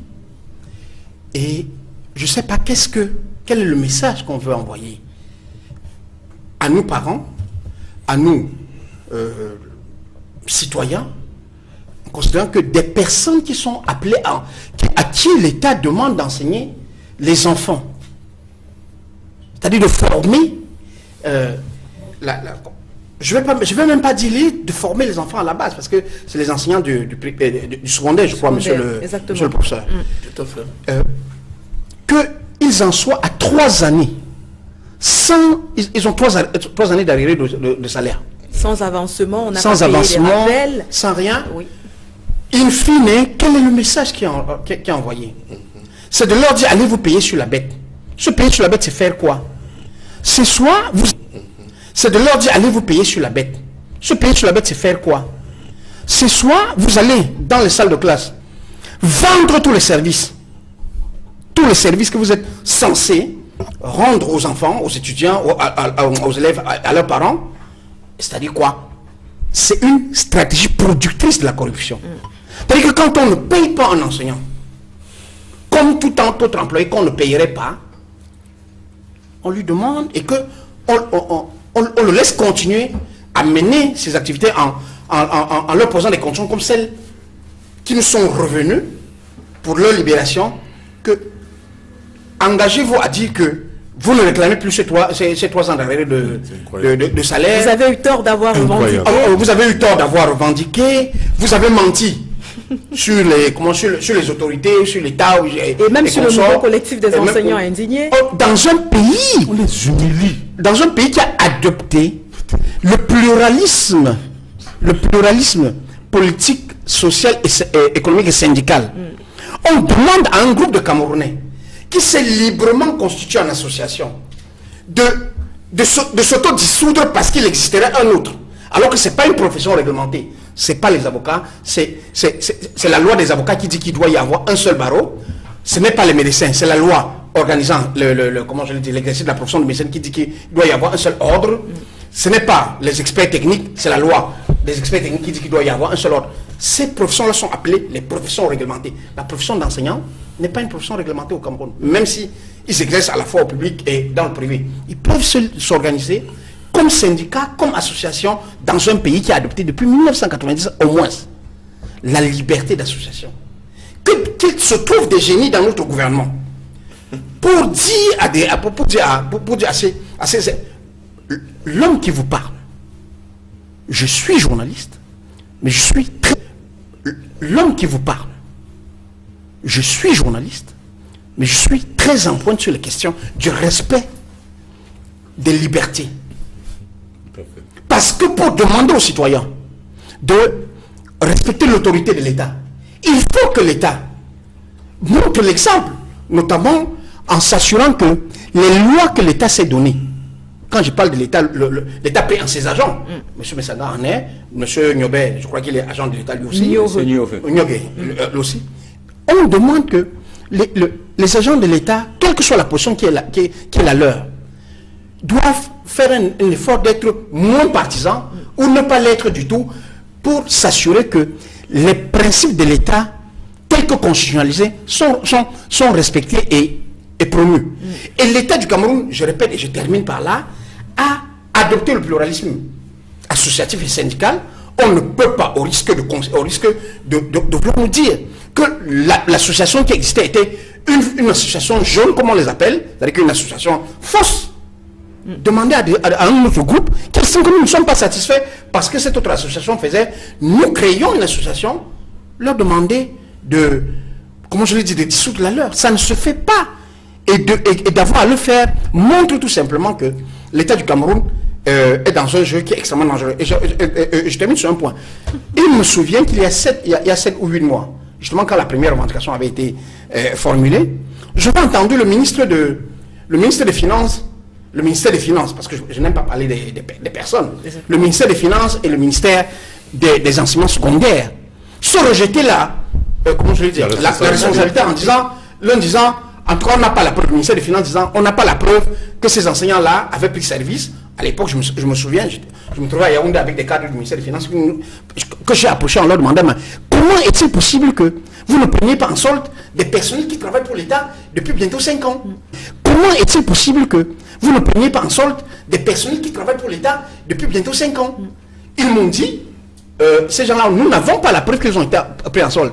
Mais quand j'ai insisté, ils m'ont dit en réalité, nous demandons on nous dit de ces personnels-là, parce que visiblement, visiblement, il y a des gens au ministère des enseignements secondaires qui se servent de ces enseignants-là pour pomper l'argent public. C'est-à-dire qu'ils font du fictif. Et ça, c'est un problème grave de gouvernance qu'il va falloir adresser dans ce pays. Et dommage que ce soit les enseignants qui ont et, payé. Et les gens sont obligés de payer les prix, y compris des honnêtes enseignants comme celui que nous avons en face de nous, mm. y compris les, les, les, 400, les, les 400 ou les milliers qui, qui, sont avec eux. Alex Gustave Azebasi, il faut préciser à votre suite que jusqu'à hier soir, on avait parmi le panel un enseignant qui venait de ce nouveau collectif des enseignants indignés qui, face à la menace qui est aujourd'hui en train de peser sur ce nouveau collectif, s'est force finalement rétracté et a demandé, on peut le comprendre, on peut le comprendre. Euh, ce matin, oui, ils, ont subi des intimidations, ils nous ont fait état de ce que leurs épouses, elles également pour ceux qui résistaient d'une certaine manière, leurs épouses subissaient également des intimidations, des appels et tout. Mais il faut Donc il a préféré, il a préféré se retirer. Il pour ça. Alors, pour ça, on peut bien se rendre compte de ce que ce sujet euh, euh, vous, choque fortement. Vous êtes enseignant, vous savez euh, les difficultés qui sont celles par lesquelles ces enseignants aujourd'hui sont en train de passer. Est-ce que au jour d'aujourd'hui, où l'État camerounais donne l'impression d'être submergé par ce problème et par tous les autres problèmes d'ailleurs auxquels il, fait face, est-ce qu'on pourrait trouver des solutions durables à ce problème? Moi, je suis d'accord qu'on peut trouver des solutions durables. D'ailleurs, je le pense. Vous savez, le problème euh, de ce pays et de ce gouvernement que moi je soutiens, c'est que vous avez d'un côté les hommes politiques qui se battent au quotidien à l'effet de mettre en œuvre la politique du chef de l'État. Mais très vite, sur ce point, l'État. Mais Très vite, sur ce point, nous sommes rattrapés par des fonctionnaires qui se substituent à nous dans le parti. Et vous comprenez que euh, j'ai eu à écrire un ouvrage, Paul Bial était le RDPC, scène des enjeux de l'épreuve du pouvoir. Concernant ce problème, je disais ceci, ce pays a besoin de réformes, de véritables réformes. Moi, je suis choqué. Choqué d'abord parce que j'ai été, euh, moi, je suis père de famille, Et j'imagine la douleur de ses euh, collègues du secondaire qui euh, ne peuvent pas nourrir leur famille, leurs enfants. Et vous savez que lorsque vous atteignez ce stade précaire de la vie, vous devenez vulnérable. Quand vous voyez ces affaires de prostitution, l'alcoolisme, les, les comportements pervers, l'homosexualité, ce sont des choix parfois qui vous font perdre votre dignité. Euh, et c'est pourquoi je condamne totalement cette absence de dialogue qui a d'ailleurs été évoquée par le chef de l'État en relation avec la crise anglophone, souvenez-vous. Le président Paul Biya euh, se posait une question centrale. Je suis très sérieux et sur ce point, il faut que je partage aussi votre sensibilité. Rappelez-vous lors du discours à la jeunesse, il se posait la question de savoir pourquoi dans un pays où nous avons les syndicats, vous vous, vous, souvenez mm, Où on donne la possibilité aux uns aux autres de s'exprimer. Et à côté, on a des compatriotes qui vont prendre les armes. Alors, au regard de ce que pour moi ces enseignants ont subi, j'ai toujours dit, parlant du coup d'état scientifique, qu'il y a des compatriotes à l'intérieur du système et de notre haute administration, j'ai même cité certains au palais, à l'intérieur du système et de notre haute administration, j'ai même cité certains au palais, et même dans des ministères stratégiques, qui veulent que les Camerounais prennent des armes contre Paul Biya. écoutez, lorsque vous voyez cette affaire euh, des enseignants, c'est ce que nous avons longtemps appelé la non-maîtrise de nombreux goulots d'étranglement. Voyez-vous, madame, lorsque vous allez vous inscrire dans un lycée, et qu'un enseignant ou un proviseur vous prenne 50 000 francs pour une inscription et 100 000 francs pour un enfant à l'entrée en sixième, vous savez, quand nous sommes dans un plateau comme celui-ci, ces proviseurs malhonnêtes qui nous regardent savent que c'est vrai, ils savent qu'ils ont contribué à la destruction de ce pays. Vous voyez, c'est pourquoi je dis que ce n'est pas sérieux. Lorsque vous allez, par exemple, à un tribunal, entre autres, au-delà de l'enseignement, je vais terminer là-dessus, Prenez aujourd'hui, heureusement qu'on a encore aussi quelques magistrats sérieux, mais aujourd'hui, des, compatriotes appellent les tribunaux les, les, comptoirs de commerce. Parce qu'on ne peut plus gagner un procès dans les Nords. Hein. Et là aussi, je suis euh, dans ce camp euh, de progressistes de mon parti qui pense que, en fin de compte, lorsque on vous estorque de l'argent, Hein? Ça revient, tout ça retombe sur le président de la République. C'est pourquoi moi, vraiment, je continue à penser que nous devons nous retourner vers ces enseignants, voir leurs revendications, lorsqu'on sait que nous sommes dans un pays où vous avez des personnes qui... Et là aussi, c'est aussi une réforme que je demande aussi au sein de mon parti. Vous savez, moi, je ne suis pas extrémiste. Quand vous avez un parti comme le mien, où... Euh, euh, vous n'avez pas des, des, secrétaires nationaux à l'éducation, des secrétaires nationaux à la défense, des secrétaires nationaux. Moi, je pense qu'avec le président Paul Biya, les secrétaires nationaux à la défense, les secrétaires nationaux, moi, je pense qu'avec le président Paul Biya... À qui la faute alors C'est bien, c'est bien pour les autres d'occuper les fonctions de ministre, les fonctions de décision, qui la faute les fonctions de si, si vous pouvez me laisser terminer, les fonctions de DG, les fonctions de si, mais à la fin, que ceux de nos compatriotes ne peuvent pas régler les problèmes du Camerounais sachent que ils sont responsables et coupables lorsque les Camerounais vous disent que avec Paul Biya, ces régimes doivent changer. Moi, je pense que l'enjeu aujourd'hui, c'est de voir comment on peut avoir des hommes politisés et de nouveaux hommes à l'effet d'accompagner. Et, sur ce sujet-là, justement, Simplice New veut rebondir depuis tout à l'heure. Oui, mais je chute quand même. Professeur, on revient à vous, ne vous en faites pas. On revient à vous. D'accord. Oui, allez-y, Simplice. Oui, merci, Kate. Moi, je ne coupe pas. Je sais, professeur. La, la parole. En fait, je voudrais éclairer l'antenne des uns des autres, de nos téléspectateurs, pour dire en fait ce que ces enseignants euh, revendiquent. Mm. Parce que beaucoup vont se poser la question de savoir, mais qu'est-ce que ces enseignants revendiquent, justement? Euh, euh, il y a euh, un mémorandum qu'ils ont fourni qui tourne autour de six points, six revendications. premièrement, il y a le dossier, n'est-ce pas, de réclassement rejetés par le MINFOPRA. Euh, il y a les, les salaires qui ne passent plus de certains enseignants, environ 15 000. Mais ça, nous sommes au courant, oui.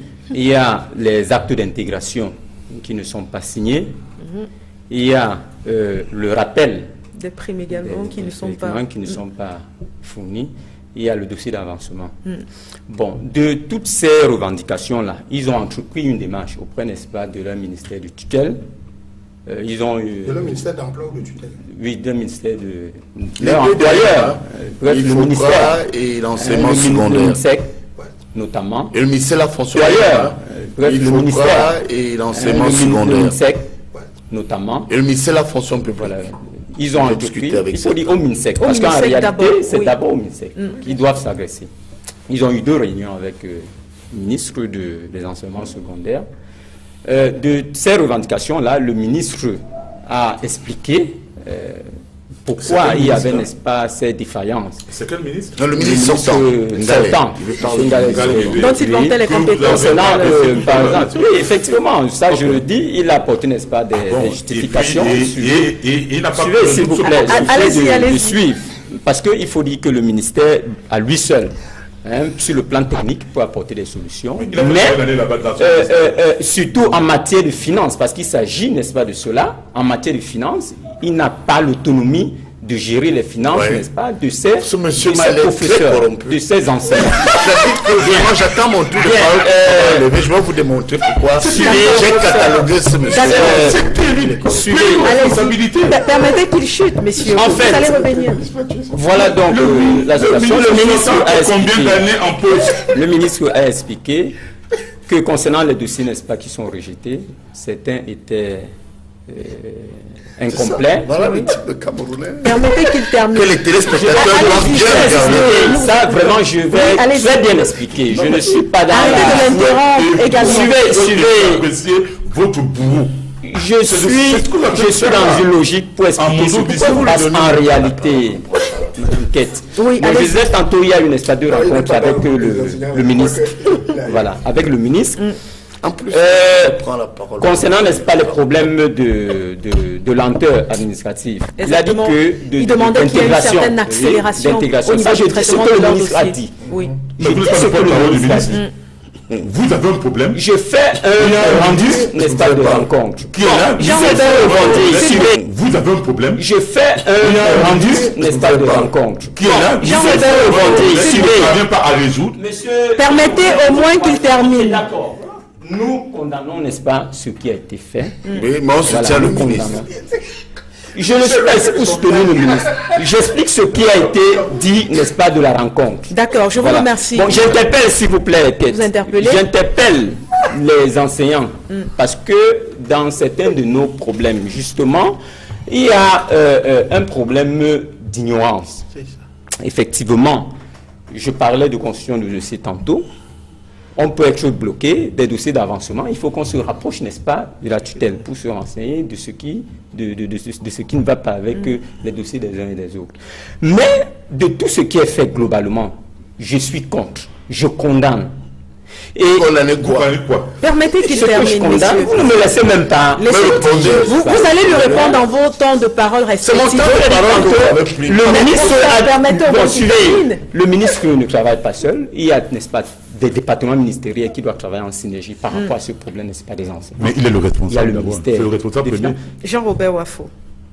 Il rencontre et les autres ministères. Par exemple, au ministère, au, à la- au premier ministère, on a eu une rencontre avec euh, euh, euh, le représentant D'accord, chargé de mission, pas, s'il vous plaît. On, on a compris simplement. Oui. Permettez qu'on prenne Oui. également l'autre pan de cette actualité. Et c'est pour Mais- ça que vous disiez, vous professeur. Non, c'est le, temps de parole du professeur. C'est le temps de parole du professeur. Elle a dit qu'elle lui passait deux minutes. Allez-y. Je reviens donc avec vous, professeur, pour parler d'un autre aspect, euh, toujours de, de- de- de ce vent qui souffle en ce moment dans le système éducatif camerounais, c'est la question des doctorats professionnels. Et cette fois, on est dans l'enseignement supérieur qui est votre domaine. Euh, justement, dites-nous, que s'est-il passé avec les doctorats professionnels à l'université Mais bien avant, je vais dire juste un On- mot. On n'a plus beaucoup de temps, Oui, professeur. non, je vais prendre, je vais gérer de ça sur, sur une minute. Oui, allez-y. Euh, On n'a plus beaucoup de temps, oui, non, je vais prendre, je vais gérer de ça sur, sur une minute. Oui, allez-y. Euh, vous avez vu que ce monsieur... Mais s'il vous plaît, ne revenez plus sur lui. Il terminé. non, madame, on- est- nous sommes sur un plateau, on n'a pas besoin d'avocats ici. Que les gens qui viennent sur les plateaux prennent aussi leurs responsabilités. Moi, je dis que ce monsieur a l'air, n'a pas l'air d'être correct. Pour deux raisons. Un, il vous dit, voilà les problèmes que nous avons. Nous avons discuté avec le ministre. Le ministre est bon, il est gentil, c'est un dieu. On Mais le ministre n'a pas- élections. permettez-moi, mais à la fin, il vous dit, on s'est rendu compte que le bon ministre n'a pas d'argent. J'ai compris que je le soupçonne d'être corrompu. Je crois que ceux qui nous il n'est pas regardent dans le collectif des enseignants indignés, professeur. Maintenant, deuxième chose qui montre la mauvaise foi de ce monsieur, c'est qu'à la fin, il dit, on nous maltraite, on nous fait ci, et il lâche quand même, je suis dans le mouvement 11 millions d'inscrits. Donc vous comprenez que ce monsieur est un rival politique. Quand il arrive sur un plateau, il se comporte comme un agneau qui ne comprend pas ce qui se passe. Mais en réalité, il est dans le complot pour faire partie de ce régime. Mais professeur, Alors juste- revenons juste, sur l'enseignement qu'il ne supérieur. déclare, Je continue sur l'enseignement supérieur. Non, non, non. Je vous voudrais qu'on vous regarde très bien. Ça ne me choque pas du tout. Pourquoi ça vous choque Mais vous auriez mieux fait de nous dire que Wafo sait qu'il est du SDF, il sait que je suis du RDPC. Mais vous êtes venu ici Moi, comme je vous qui aurez était fait sur quoi le Vous parti. aurez fait quoi, monsieur je, je me serais mieux préparé à vous dire que 11 millions d'électeurs ne veut rien dire. Et qu'au départ, vous avez échoué. il est ici en Ça, tant qu'enseignant. Ça. Vous croyez qu'il est là Ça, c'est vos avis. On va en débattre En tout cas. Monsieur, on a vous on a attendons plus sur les yeux. Nous vous attendons. Allez-y, professeur, nous les veux professionnels. oui, c'est bien. Vous ne faites rien, Oh, monsieur, rien. monsieur, calmez-vous quand même. hein. Et respectez-nous. Hein. D'accord? Si on vous donne les chance de discuter pour que les Camerounais comprennent ce qui se passe, respectez les anciens sur les plateaux. On vous a posé Bien, alors, qu'est-ce pour terminer? L'enseignement supérieur. Oui. Les plateaux. On vous a posé Bien, alors, qu'est-ce pour terminer L'enseignement supérieur. Oui. Moi, sincèrement, lorsque vous occupez une fonction de pouvoir et de décision, et, vous, et que à la tête d'une instance, vous avez certaines charges, il faut éviter les conflits. Le recteur Ninkwa est un ami, Magloire Ondoa est un ami et un collaborateur. Moi, je voudrais vous dire sincèrement, on a entendu de tout et de rien. J'ai même suivi des faux débats où les gens vous disaient que la thèse professionnelle a fait ci, elle n'existe pas ailleurs, elle existe ici, et on est en train de ramener l'université au rabais. À partir du moment, moi je le dis avec fermeté, en tant qu'homme politique, les étudiants s'inscrivent depuis un certain nombre d'années. Ces étudiants ont l'accord du recteur. Et il y a plusieurs notes. De surcroît, un juriste tient. Vous annulez, écoutez, moi je condamne. J'ai même appris un autre mensonge, parce que ça je ne vous le cache pas, hier encore j'étais avec le ministre de l'enseignement supérieur. Vous voyez, moi je suis quelqu'un qui dit la vérité. Je ne suis pas quelqu'un des couloirs. Oui, les recteurs se sont insurgés et ont dit non au ministre. Mais c'est faux. On nous a parlé Les de 8 recteurs, recteurs les n'ont jamais dit non au ministre sur ce point. Je connais quand même des personnes Nous l'avons affirmé, le doctorat professionnel. Oh, ne me coupez pas. Les ne sont pas d'accord pour le doctorat professionnel. Je vous dis mais que- la solution transitoire du ministre va avancer. Je, vous- je voudrais vous dire que moi, en tout cas, pour ce qui me concerne, et je chute dessus, parce que vous devez aussi, il ne faut pas garder longtemps la parole, ce que moi je pense, c'est que on aurait pu terminer avec ces étudiants, dire même que ces doctorats professionnels vont être transformés en doctorat PhD, à l'effet de sauver l'université et notre image. Vous savez, mon frère et mon ami Zébazé, je suis le seul enseignant à l'université, mon frère et mon ami Zébazé, je suis le seul enseignant à l'université camerounaise de la CEMAC, vous pouvez le vérifier, titulaire de deux doctorats nouveau régime. Je suis le seul en sciences politiques de Paris 1, de, de, de Sciences Po Inalco et en droit public de la Sorbonne. Moi qui vous parle. Je suis le seul titulaire. Et alors, vous savez le temps que ces enfants mettent pour faire un doctorat? Imaginez-vous, des étudiants payent. Que les étudiants et les doctorants en question ne soient pas victimes de querelles de personnes ou alors, je dirais aussi, connaissant Mikwa, de la rigueur de certains collègues. Non. Moi, je pense avec, avec euh, conviction. Oui, monsieur Niamdi Messangal. Oui, Wafo, je pense que. votre point de vue, mais Oui. euh, le problème également. me dérange pas l'interactivité. Le problème de, de- le problème de l'université, c'est également les conditions de vie des enseignants, donc des étudiants. Wafo, c'est d'accord, supprimé la Robert. bourse. Robert. Vous avez instauré Nous la, sommes la scolarité payante. Oui. Ils sont en train de vivre un cauchemar. Là, je suis aussi d'accord avec Alors, qu'est-ce que vous Parce que c'est le ministre. Edouard. On est en train de sortir du sujet. plus nombreux que vous. On est en train de sortir du sujet. Voilà, et puis je vais chuter dans un Je peux le faire. Moi je pense que l'ordre académique. Non, une erreur, une, non, vraiment, une seconde pour t'un pour chuter avec ma prise de parole. Monsieur le L'ordre ministre- académique appartient au ministre de l'enseignement supérieur. Oui. Et il y a aussi quelque chose que Oui, beaucoup ne savent pas. J'ai entendu le ministre de l'enseignement supérieur, chancelier des pub de Qu'est-ce que cela veut dire? Non, cela veut dire que lorsque une thèse est soutenue, et là j'attends que les juristes m'apportent la contradiction dans une université, une fois que le jury s'est tenu, c'est le chancelier des ordres académiques qui peut prononcer la déchéance.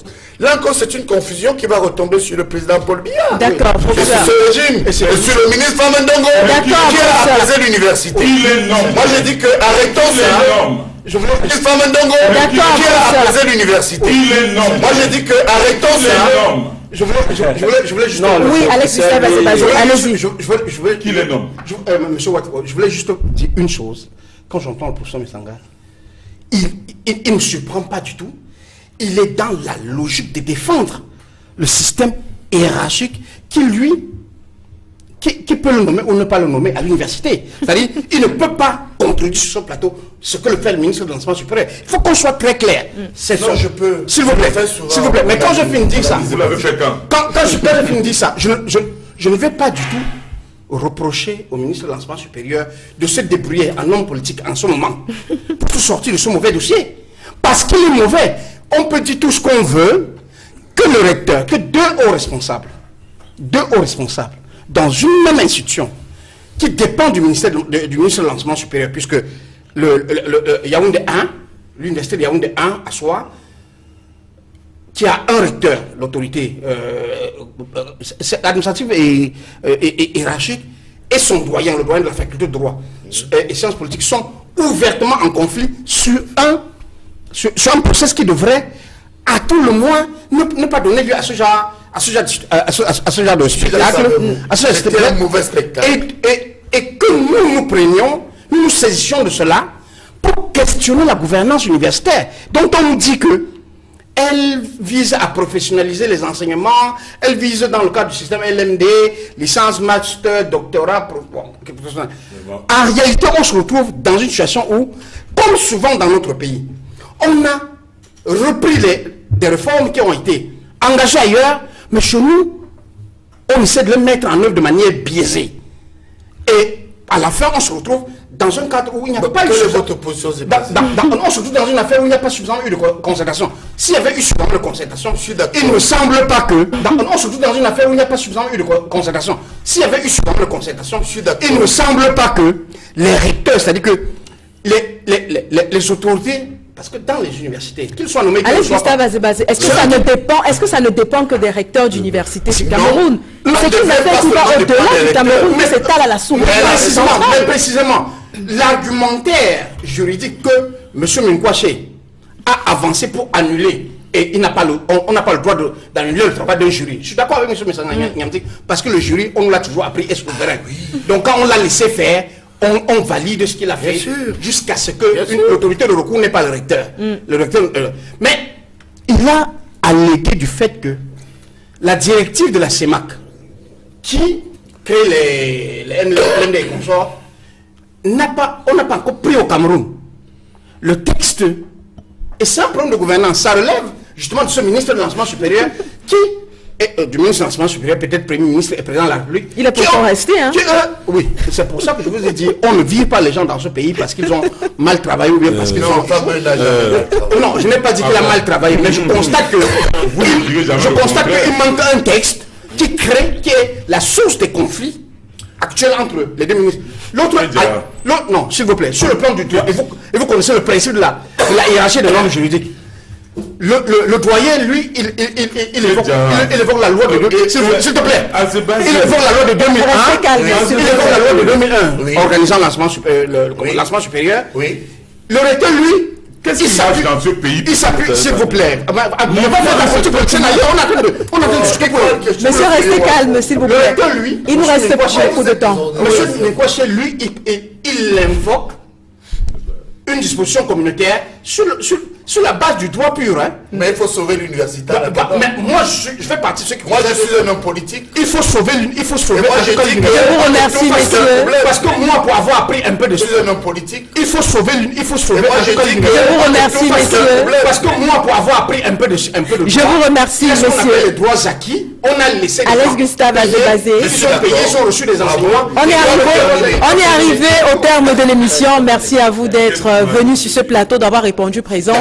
On va se retrouver dimanche prochain pour une autre édition de Droit de réponse.